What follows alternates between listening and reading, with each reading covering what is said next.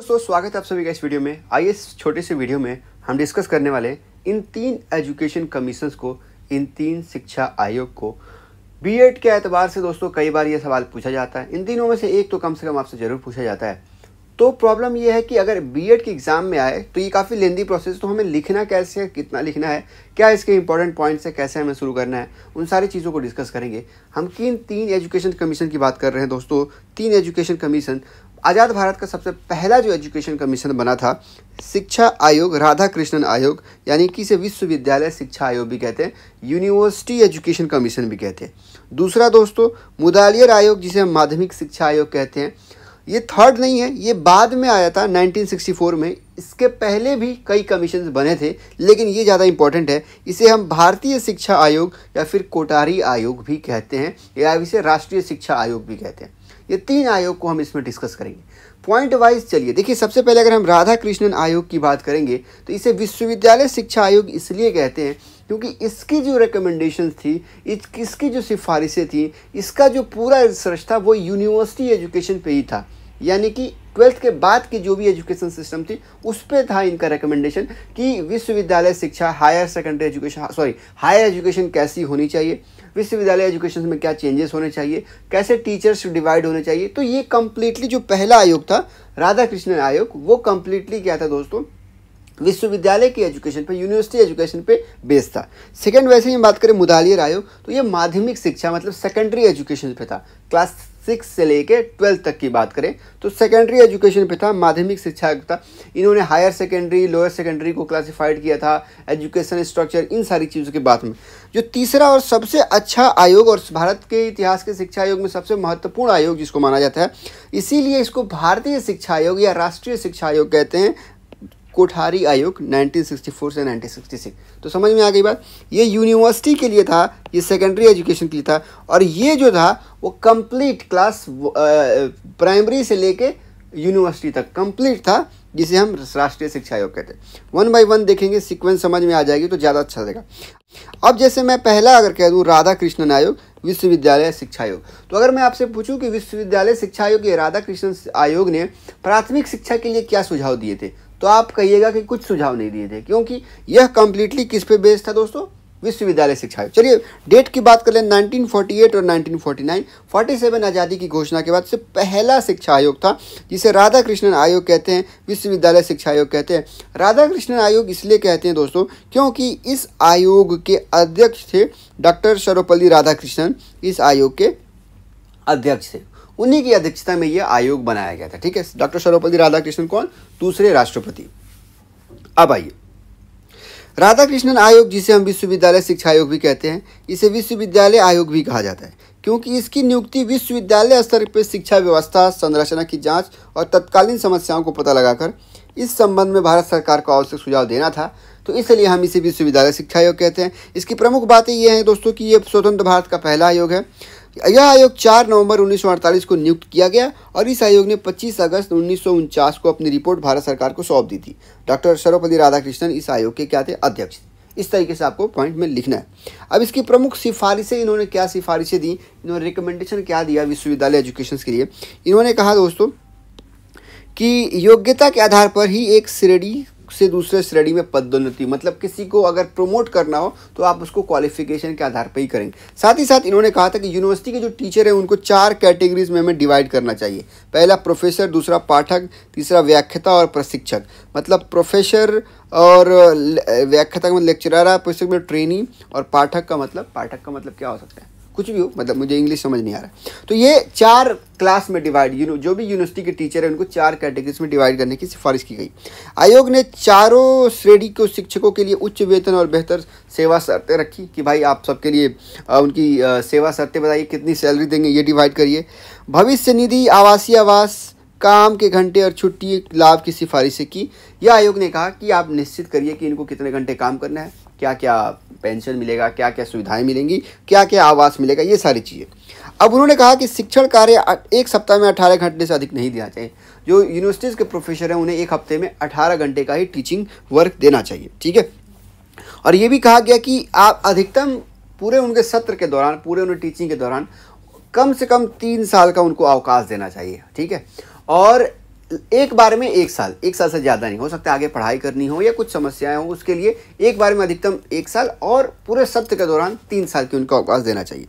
सेवा अवकाश की उम्र साठ से बढ़ाकर चौंसठ कर दी गई, चौंसठ साल तक वो छुट्टी ले सकते थे। अब ये कहा गया कि किसी भी यूनिवर्सिटी में तीन हज़ार से अधिक बच्चे नहीं होने चाहिए। अगर हो तो फिर आप कुछ अलग व्यवस्था करिए।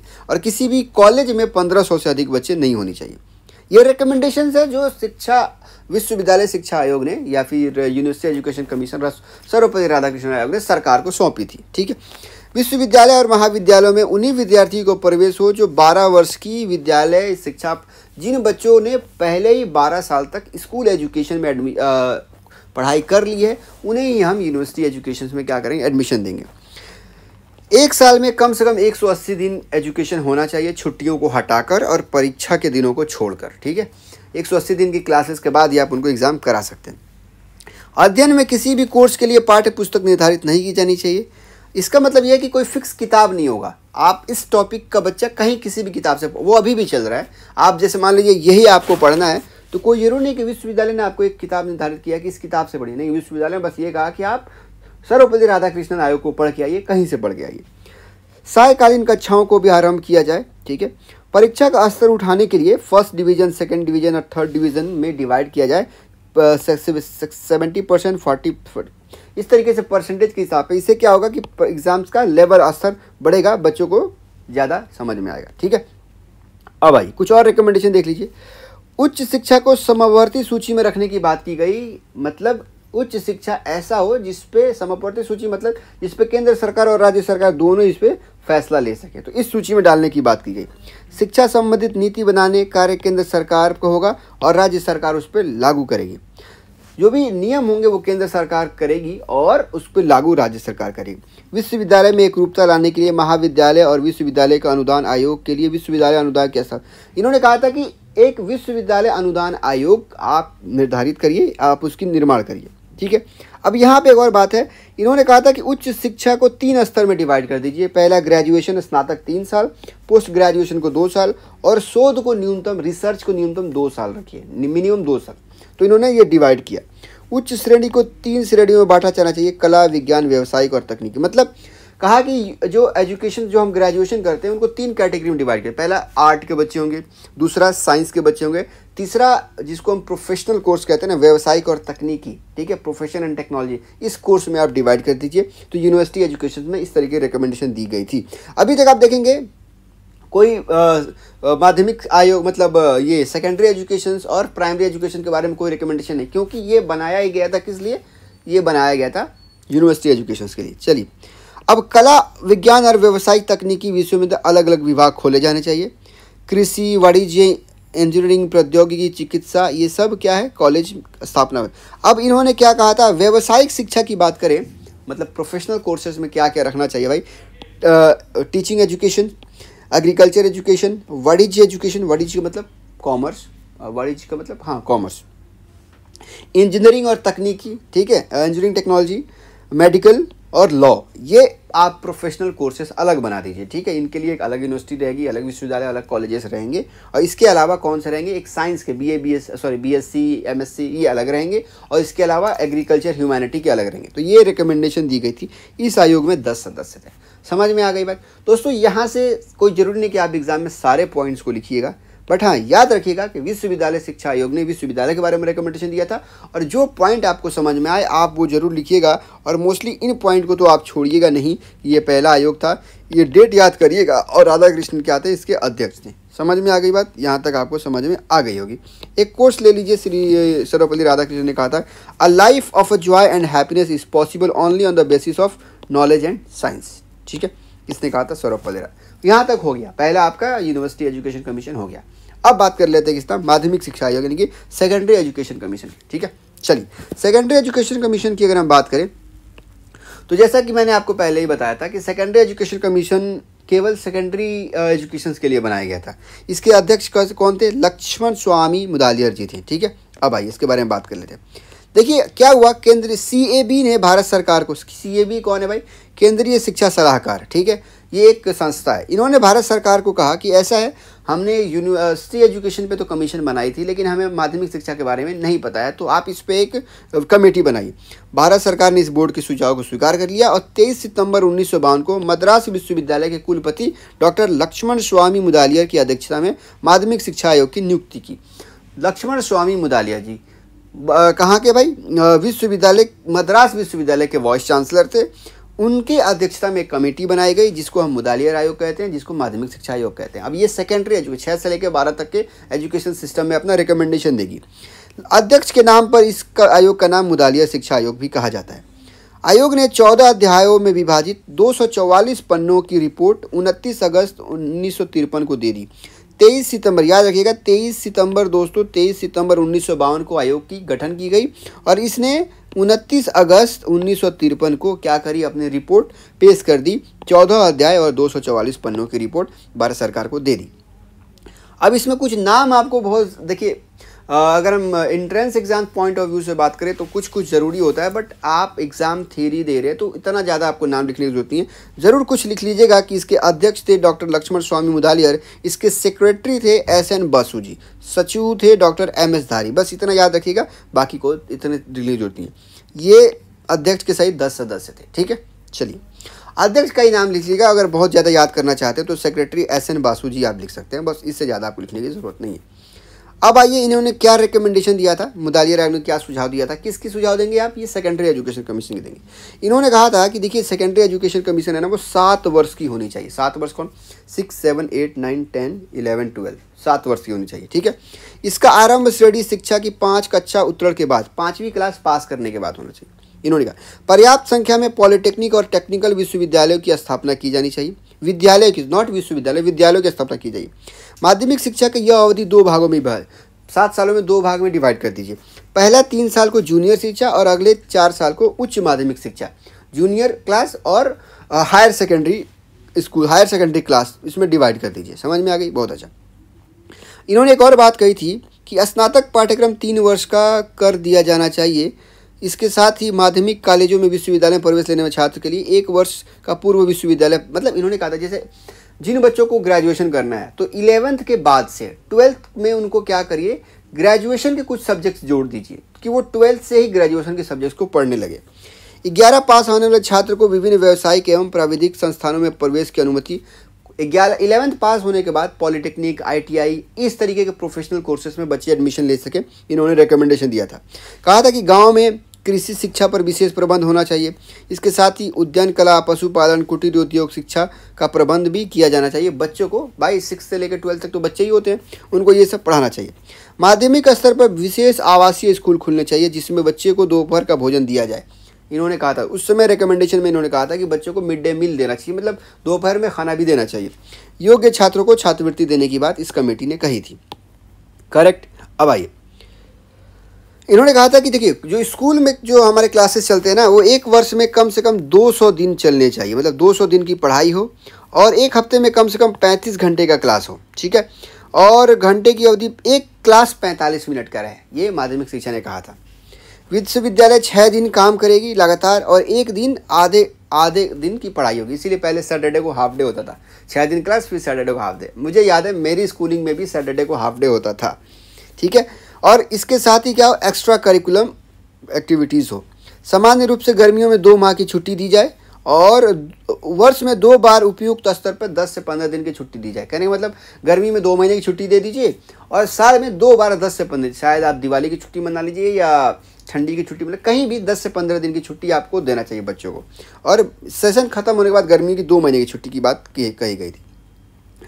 इन्होंने भाषा के बारे में क्या कहा था कि कौन कौन से लैंग्वेज में पढ़ाना चाहिए? तो पाँच भाषा, जैसे मातृभाषा में पढ़ाइए, अगर बंगाली है तो बंगाली में पढ़ाइए गुजराती है तो गुजराती में पढ़ाइए, और तेलुगु, तमिल हो तो उनकी अपनी भाषा में पढ़ाइए। साथ ही साथ एक मातृभाषा हिंदी भी पढ़ाइए, और एक संघीय भाषा, जैसे लोग मतलब अंग्रेज़ी ले लीजिए, जिससे सरकारी कार्य होते हैं, वो भाषा पढ़ाइए।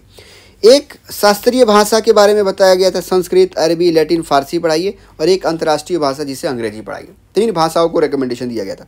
अब आइए विषय कौन से रखे गए थे? देखिए विषय की बात की जाए तो माध्यमिक शिक्षा में विषय की जो रिकमेंडेशन की गई थी इस आयोग के द्वारा उसने कहा था कि इन विषयों के पहले तो एक लैंग्वेज रखिए आप। लैंग्वेज में हिंदी इंग्लिश संस्कृत रखिए लैंग्वेज रखिए। दूसरा सामान्य विज्ञान रखिए। सामान्य आपने पढ़ा होगा ना सेकंड आप, आपने सिक्स सेवन एट नाइन्थ में आ, जियोग्राफी सिविक्स हिस्ट्री ये पढ़ा होगा। तो ये रखने की बात की मैथ रखना पड़ेगा। कोई बच्चा सिक्स के बाद से मैथ नहीं छोड़ सकता था क्योंकि इस एजुकेशन कमीशन ने कहा था कि मैथ आपको पढ़ाना पड़ेगा। आर्ट या संगीत रखिए। कला या संगीत आपने क्या लिया था? पता है मेरा टेंथ में संगीत था। संगीत संगीत र, संगीत में हमने क्या पढ़ा था? गायन वादन ठुमरी ताल ये सब पढ़ा था मैं अभी तो ध्यान से उतर गया। सामाजिक विज्ञान रखिए ठीक है? यहाँ पे सामान्य विज्ञान से संबंधित था। फिजिक्स साइंस केमिस्ट्री ये सब की बात रखी थी। शिल्प में कोई कृषि रखी एग्रीकल्चर रखी, मेरे यहाँ तो एग्रीकल्चर था। शारीरिक शिक्षा में तो मेरे यहाँ पीटी होता था। एक, दो, तीन, चार। तो ये रखने की बात की गई थी स्कूली एजुकेशन में। और ये अब हमें समझ में आता है कि ये चीज़ें क्यों रखी जाती थी, क्योंकि रिकमेंडेशन था भाई कि ये रखना है। मेरा हाई स्कूल में मैं मैं मार्कशीट तो शेयर कर दूँगा, कहिए तो। मेरे हाई स्कूल में क्या था? संगीत था। और संगीत हम क्लास सेवन से पढ़ते थे, एक ही संगीत। संगीत संगीत वह ललित कला है जैसे चित्रकला में कलाकार अपने आ, कलम से अपने रंगों से आ, आ, चित्र को सजाता है वैसे ही संगीत में गायन वादन तथा ठुमरी ताल से एक गायक अपने संगीत को सजा इस तरीके से हम लोग पढ़ के आए थे। बड़ा मज़ा आता था संगीत। एक ही प्रश्न को हर साल पूछते थे। अच्छा लगा था। और हाई स्कूल में बोर्ड ने पेपर सेट कर दिया तो संगीत हमें कुछ समझ में ही ना आए। तो संगीत भी दो तरीके से, एक होता है एक होता है गा, एक होता है जैसे आपको पढ़ना है मतलब गायन एक गाने वाला तो हम लोग पढ़ने वाला करे थे, हम लोग गाने वाला नहीं करे थे। अच्छा अब आइए। उच्च माध्यमिक स्तर पर जैसे क्लास एट हो गया नाइन हाँ क्लास नाइन से लेकर ट्वेल्थ तक एट हाँ पाँच छः सिक्स सेवन हाँ नाइन से लेकर ट्वेल्थ तक, यहाँ कौन कौन से सब्जेक्ट एक लैंग्वेज रखिए, एक सामाजिक अध्ययन रखिए और सामान्य विज्ञान रखिए, हस्तलिपि रखिए। इस तरीके से आपने रिकमेंडेशन करी थी सब्जेक्ट की। चलिए, यहाँ तक बात हो गई किसकी दोस्तों? माध्यमिक से। इसी तरीके पॉइंट को याद रखिए, बहुत लेंदी नहीं है। अलग अलग नोट्स बनाइएगा ज़रूर, उसके रिकमेंडेशन आपने लिखिएगा। यहाँ से समझ आ जाएगा, आप आराम से लिख सकते हैं। अब बात करेंगे किसकी? राष्ट्रीय शिक्षा आयोग। राष्ट्रीय शिक्षा आयोग का मतलब जिसने प्राइमरी से लेके यूनिवर्सिटी तक सबकी रिकमेंडेशन करी थी, जिसको हम क्या कहते हैं? राष्ट्रीय शिक्षा आयोग कहते हैं। Got it you get my point very good अब हाँ इसको कोठारी आयोग भी कहते हैं, ठीक है? चलिए, इसको देख लेते हैं। अब आइए। उन्नीस सौ चौंसठ में भारत को केंद्रीय सरकार ने, भारत की केंद्रीय सरकार ने डॉक्टर दौलत सिंह कोठारी की अध्यक्षता में स्कूली शिक्षा प्रणाली का नया आकार व नई दिशा देने के लिए उद्देश्य से आयोग का गठन किया। इस आयोग को कोठारी आयोग से भी जाना जाता है। क्यों? क्योंकि डॉक्टर दौलत सिंह कोठारी इसके अध्यक्ष थे और डॉक्टर दौलत सिंह कोठारी उस समय विश्वविद्यालय अनुदान आयोग, यानी कि विश्वविद्यालय अनुदान आयोग के अध्यक्ष थे, ठीक है? उस समय क्या थे? इसके अध्यक्ष थे। आयोग ने स्कूली शिक्षा की गहन समीक्षा प्रस्तुत की और भारत सरकार के इतिहास में आज भी सर्वाधिक गहन अध्ययन माना जाता है। दौलत सिंह कोठारी आयोग उन्नीस सौ चौंसठ में राष्ट्रीय शिक्षा आयोग के नाम या राष्ट्रीय शिक्षा आयोग क्या किया? अपना सुझाव प्रस्तुत कर दिया, अपने सुझाव किसको दे दिया? सरकार को दे दिया उन्नीस सौ छियासठ में। दौलत सिंह कोठारी आयोग कह लीजिए, राष्ट्रीय शिक्षा आयोग कह लीजिए, भारतीय शिक्षा आयोग कह लीजिए, ठीक है? इसने क्या किया? संपूर्ण शिक्षा व्यवस्था पे अपनी रिपोर्ट सरकार को दी और अपनी सिफारिशें दी। अब इन्होंने क्या कहा? पहली बात तो कि समान पाठ्यक्रम के ज़रिए बालक बालिकाओं को पढ़ाइए, दोनों के लिए समान पाठ्यक्रम हो।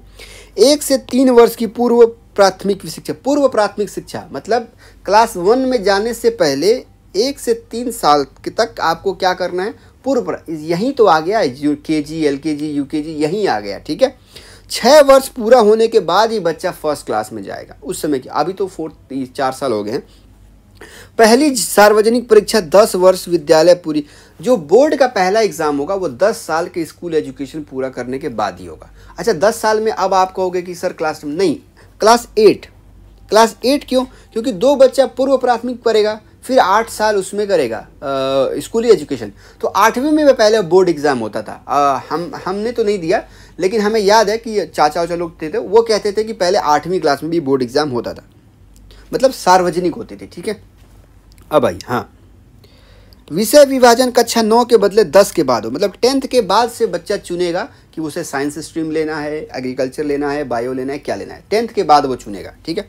अब इन्होंने कहा था कि सब्जेक्ट कौन कौन से रखने तो देखिए प्राथमिक एक से चार के लिए एक भाषा क्षेत्रीय रखिएगा गणित का अध्ययन, पर्यावरण का अध्ययन, रचनात्मक अध्ययन, स्वास्थ्य कार्य अनुभव। ये सिंपल सी विषय। कक्षा पाँच से आठ के लिए दो भाषाएँ दोस्तों। दो भाषाएँ, एक क्षेत्रीय, एक राष्ट्रीय। मतलब गुजराती, मराठी, बंगाली, पंजाबी और उसके साथ साथ हिंदी, राष्ट्रीय। एक तीसरी भाषा, अंग्रेज़ी। गणित रखना है पाँच से आठ में, विज्ञान रखना है, सामाजिक अध्ययन रखना है, कला, व्यायाम, कार्य अनुभव, नैतिक अध्ययन। ये विषय रखना है। और निम्न माध्यमिक स्तर नौ से लेके, नौ से लेके नाइन्थ और टेंथ में तीन लैंग्वेज रखिए, गणित, विज्ञान, सामाजिक अध्ययन कला, व्याय, ये सब रखिए। उच्च माध्यमिक से इलेवंथ और ट्वेल्थ में आपको क्या रखना है दोस्तों? दो भाषा रखना है, ठीक है? हिंदी, इंग्लिश रखना है और कोई भी तीन विषय इसमें से रखना है। वही, चाहे आप पीसीएम ले लीजिए या पीसीबी ले लीजिए या फिर जियोग्राफी के तीन सब्जेक्ट तो इसके वर्ग, कला, व्यायाम, कार्य, अनुभव, इसके नैतिक शिक्षा। तो इसके वर्ग बनाए गए थे, इसमें से आपको कोई भी तीन विषय लेना था, दो लैंग्वेज के साथ, ठीक है? मैं मैं अपनी बात करूँ तो हिंदी, इंग्लिश, पीसीएम था, ठीक है? चलिए तो ये रिकमेंडेशन दिया था इस आयोग ने। गॉट इट कुछ और बातें कही गई थी। कॉलेज को पड़ोस के कई स्कूलों से जोड़ना है। जो कॉलेजेस हैं, उसको पड़ोस के कई स्कूलों से जोड़ना है। साल भर प्रतिदिन आठ घंटे स्कूल चले। मतलब डेली एट आठ घंटे का क्लासेस हो। बुक बैंक की स्थापना की जाए कि अगर बच्चे को बुक लेना है, वहाँ से वो ले सकते हैं। प्रतिभाओं की पहचान कर छात्रवृत्ति का प्रभावधान करना है, ठीक है? अब आइए। ये बात सबसे अच्छी कही गई थी कि शिक्षा व्यय को जीडीपी का छः परसेंट करना चाहिए। टू पॉइंट नाइन परसेंट उस समय था उससे बढ़ाकर छः परसेंट तक जीडीपी का मतलब हमारे देश के जो जीडीपी है उसमें छः परसेंट किस पे खर्च हो? एजुकेशन पे खर्च हो। ये eight nineteen eighty five eighty six तक हासिल किया जाना था जो कि नहीं हो पाया। ठीक है? आ, इन्होंने कहा था कि three language formula state level पर मतलब तीन भाषा मतलब एक क्षेत्रीय भाषा राष्ट्रीय भाषा और एक अंग्रेज़ी या फिर कोई प्रादेशिक भाषा इसकी इसकी क्या की जाए, इसमें शिक्षा दी जाए। ठीक है? तो ये हो गया दोस्तों मुस्त, मुख्य मुख्य रिकमेंडेशन किसके राष्ट्रीय शिक्षा आयोग समझ में आ गई बात? कुछ बहुत लेंदी तो नहीं लगा, बहुत ज़्यादा। देखिए, हमने इतना ही रखा इसमें, जिस, जो आप आसानी से लिख सके, और इतना ही जो मुख्य बातें थी। और ये सोर्स मैं विकीपीडिया को मानता हूँ, मैंने वहाँ से विकीपीडिया से सोर्स को लिया हुआ है। मैं आशा करता हूँ दोस्तों, तीनों एजुकेशन कमीशन आपको थोड़ा बहुत समझ में आया होगा। यहाँ से आपको कुछ सहायता मिली होगी। एक बार अगर आप रिवीजन की बात करें रिवीजन क्या है? आप बस इतना ध्यान में रखिएगा कि कौन सा एजुकेशन कमीशन किसके लिए आया था, जिसमें आपको बखूबी पता है कि आपका पहला जो था प्राथमिक ये प्रथम शिक्षा आयोग, राधा राधा कृष्णन आयोग किसके लिए आया था? विश्वविद्यालय के लिए मुदालियर आयोग। स्कूली एजुकेशन सेकेंडरी एजुकेशन कमीशन के लिए, तीसरा राष्ट्रीय शिक्षा संपूर्ण के लिए आया था। ठीक है? कोई दिक्कत नहीं, बहुत शुक्रिया इस वीडियो को देखने के लिए। एक बार और आप इसको देखेंगे या खुद से जब नोट्स लिखेंगे ना तब ज़्यादा समझ में आएगा। तैयारी कर लीजिएगा इंपॉर्टेंट सवाल है पूछा जाता है कई बार पूछा गया है और बहुत आसान भी है मुश्किल नहीं है क्योंकि आप ये वो है जो आप आप जिससे होकर आए हैं। आपने एजुकेशन स्कूली एजुकेशन भी करी है आपने सेकेंडरी एजुकेशन भी करी है आपने यूनिवर्सिटी एजुकेशन भी करी है तो ये आपके लिए बड़ा आसान होगा। बस करना क्या है आपको बस एक बार नोट्स बना के समझते हुए चले जाना ठीक है? तो चलिए इस वीडियो में फ़िलहाल इतना ही। आ, मुझे दीजिए इजाज़त। अच्छा लगा। मिलेंगे अगले वीडियो में किसी अन्य जानकारी के साथ। तब तक अपना खूब ख्याल रखिए, पढ़ते रहिए, आगे बढ़ते रहिए, मुस्कुराते रहिए। पसंद आई वीडियो लाइक कर दीजिएगा। नहीं जुड़ा चैनल सब्सक्राइब करके चैनल से जुड़ जाइएगा। और कमेंट में अपनी राय प्रतिक्रिया देना ना भूलें। अच्छी लगी वो वीडियो, लगता हो किस, किसी के लिए और अच्छा हो सकता है तो आप उसको शेयर कर दीजिएगा। एटलीस्ट अपने दोस्त को शेयर कर दीजिएगा। और बोलिएगा कि सब्सक्राइब कर ले। चलिए, बहुत शुक्रिया। मिलेंगे अगले वीडियो तब तो तक अपना खूब ख्याल रखिए, पढ़ते रहिए दोस्तों। जय हिंद, जय भारत।